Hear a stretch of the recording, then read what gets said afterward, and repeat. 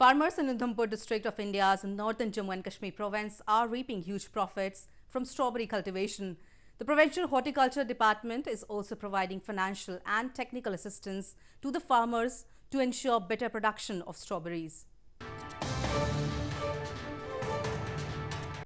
Farmers in Udhampur district of India's northern Jammu and Kashmir province are reaping huge profits from strawberry cultivation. A farmer from the district said the investment is low and there are more profits in strawberry cultivation as compared to other conventional farming options. The commercial demand for strawberries has also increased over the years, encouraging the farmers in the region to move to its cultivation. काम है मुझे बहुत अच्छा लगता है sir मेहनत तो इसको देख रेख में मेहनत कम है पैसा ज़्यादा है और इसकी मार्केट आने वाले टाइम में बहुत अच्छी मार्केट होगी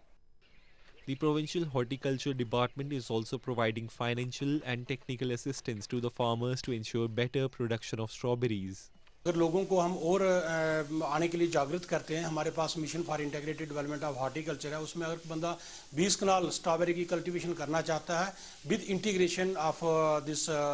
इरिगेशन सिस्टम